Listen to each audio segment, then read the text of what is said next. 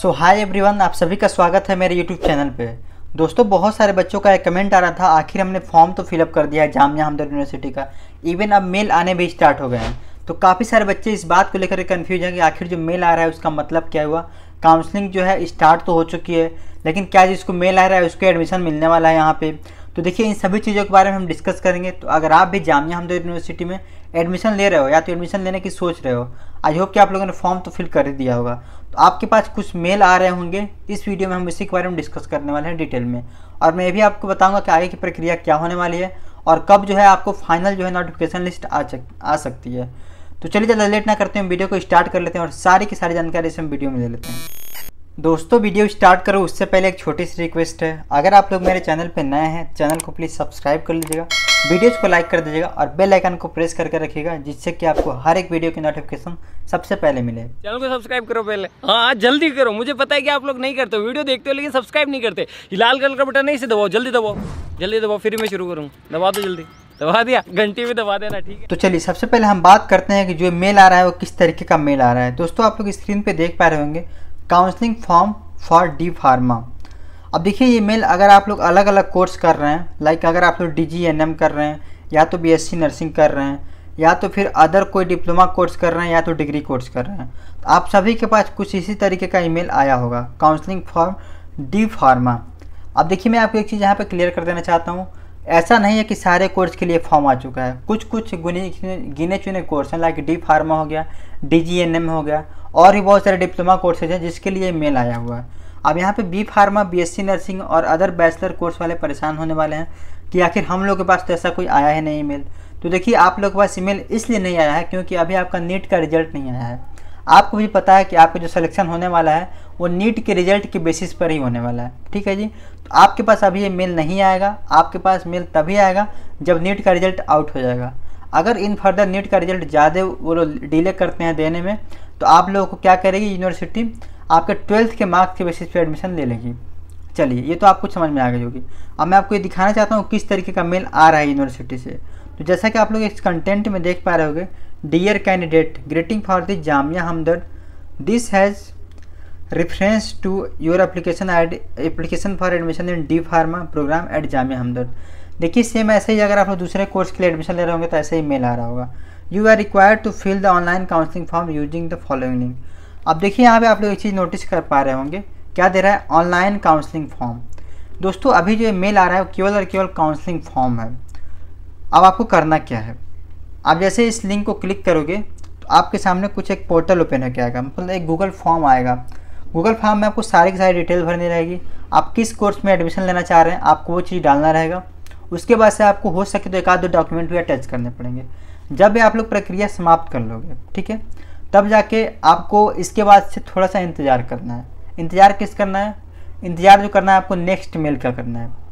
अब देखिए, मैं आपको यहाँ पे एक चीज़ क्लियर कर देना चाहता हूँ।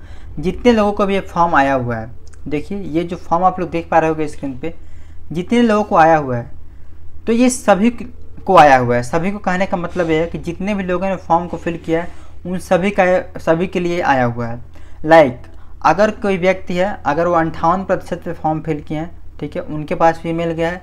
अगर कोई ऐसे स्टूडेंट्स हैं जो कि 85 परसेंट पर फिल किए हैं उनके पास भी ये ईमेल गया हुआ है। तो आप लोग ये समझ लीजिए सबसे पहले कि अगर आपके पास ये मेल आया है तो इसका मतलब ये नहीं हुआ कि आपका जो एडमिशन कंफर्म हो गया है। एडमिशन कंफर्म तभी होगा जब आपका लिस्ट में नाम आएगा। अब देखिए लिस्ट में जब नाम आएगा तो मैं आपको बताऊँगा आगे की प्रक्रिया क्या होने वाली है। सबसे पहले होता क्या है लिस्ट में नाम आता है, वो साइट पे अपलोड हो जाती है, ठीक है? अब लिस्ट में नाम आने के बाद आपको जो है डाक सबसे पहले आपको फ़ीस पे करना होता है। फ़ीस जैसे आप लोग पेमेंट कर देते हो, उसके बाद से आपको डॉक्यूमेंट वेरिफिकेशन करवाना पड़ता है और आपका एडमिशन जो है निश्चित हो जाता है। अगर आप लोग का नाम आया हो, लेकिन आप लोग एडमिशन नहीं लेते हो तो आपका एडमिशन कैंसिल हो जाता है। और नेक्स्ट राउंड में आपको पार्टिसिपेट करने का मौका नहीं मिलता है, वो फिर लास्ट में पार्टिसिपेट करने का मौका मिलता है। और दोस्तों, मैं आपको एक चीज़ और बता देना चाहता हूँ डी फार्मा में काउंसलिंग के लिए तीन से चार राउंड होते हैं, ठीक है? तीन से चार राउंड होते हैं तो आप लोग जो है काउंसलिंग आसानी से करा सकते हो। और बहुत बारी ऐसा होता है कि अगर ज़्यादा जिनका रैंक है लाइक एट्टी प्लस होता है बहुत लोगों का रैंक और वो लोग एडमिशन नहीं लेते हैं तो इस कंडीशन में नीचे वाले का भी एडमिशन जो है मिल जाता है। मतलब ये कि कहने का मतलब है, जो कम रैंक वाले होते हैं मतलब जिनका कम नंबर रहता है, उनको भी एडमिशन यहाँ पे मिल जाता है। हर एक कोर्स की मैं बात कर रहा हूँ, मैं पर्टिकुलर डिफार्मा की बात नहीं कर रहा हूँ। चलिए। ये चीज़ तो हो गई, मैंने आपको बता दिया कि आखिर ये ईमेल किसको आ रहे हैं और आपको क्या करना है। अब बहुत सारे बच्चों के ये कमेंट थे कि आखिर ईमेल के बाद क्या होगा। तो जैसा कि मैंने आपको प्रोसीजर में ही बता दिया है, ईमेल आ गया है, उसके बाद आपको बस इसको फिल कर लेना है। अब देखिए, बहुत सारे बच्चों के साथ ऐसा हो रहा है कि उनके पास ना ईमेल पता ही नहीं चल पा रहा कब आ रहा है।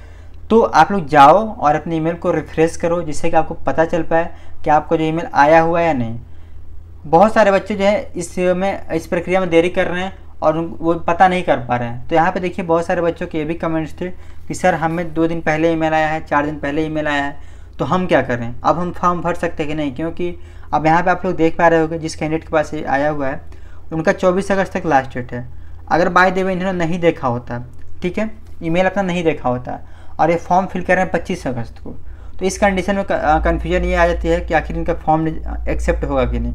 तो देखिए इस कंडीशन में होता क्या है, अगर यूनिवर्सिटी ने लिंक को बंद नहीं किया है, आप लोग ये जो लिंक देख पा रहे होगे, अगर इसको यूनिवर्सिटी ने ऑफ़ नहीं किया है और आपका फॉर्म फिलअप हो रहा है नेक्स्ट दिन भी मतलब डेट के बाद भी आपका फॉर्म फिलअप हो रहा है तो इसका मतलब ये है कि आपका जो है फॉर्म एक्सेप्ट कर लिया जाएगा। तो आप लोग जब भी ईमेल देखते हो, सबसे पहले इसको ओपन करके देख लो कि वाकई में ओपन हो पा रहा है कि नहीं? अगर आपका ओपन हो जा रहा है तो इसका मतलब है कि आपका फॉर्म जो है एक्सेप्टेड है। चलिए, ये तो बात होगी, मैंने आपको बता दिया। काउंसलिंग का प्रोसीजर मैंने बता दिया आपको। और इसके बाद से आपको मैंने बताया जैसे कि आपको फ़ीस पेमेंट करना होता है और आपका एडमिशन जो है कन्फर्म हो जाता है। आई होप कि आपकी वीडियो में की जानकारी अच्छी लगी होगी। कुछ और कमेंट्स हैं क्वायरीज हैं, आप लोग नीचे कमेंट बॉक्स में पूछिए। मैं सबके रिप्लाई देने की कोशिश करता हूँ। और दोस्तों, मैं आपसे एक चीज़ और बता देना चाहता हूँ। अगर आप लोग चैनल पर नए हैं, चैनल को प्लीज़ और प्लीज़ सब्सक्राइब कर लीजिएगा, क्योंकि लेटेस्ट वीडियो जो है जामिया हमदर यूनिवर्सिटी से related B pharma related D pharma related या तो डिप्सार में एडमिशन से रिलेटेड कोई भी जानकारी जो है आपसे मिस नहीं होगी, क्योंकि मैं प्रॉपर तरीके से गाइड कर रहा हूँ और मैंने एडमिशन लिया है जामिया हमदर यूनिवर्सिटी में भी, ठीक है? फिर मैंने वहाँ से विड्रॉ करवा लिया था, अभी मैं करेंटली डिप्सार में पढ़ रहा हूँ। तो आपको मैं अच्छे से अच्छे गाइड कर पाऊँगा एडमिशन के बारे में। आई होप कि आपको वीडियो में देखिए जानकारी बहुत ही अच्छी लगी होगी। चैनल को प्लीज़ सब्सक्राइब कर दीजिएगा, वीडियोज़ को लाइक कर दीजिएगा और दोस्तों के साथ शेयर भी कर दीजिएगा। चलिए, मिलेंगे ऐसे ही एक और शानदार वीडियो में, तब तक के लिए bye take care, then keep learning and keep exploring yourself have a good day. Thanks for watching this video.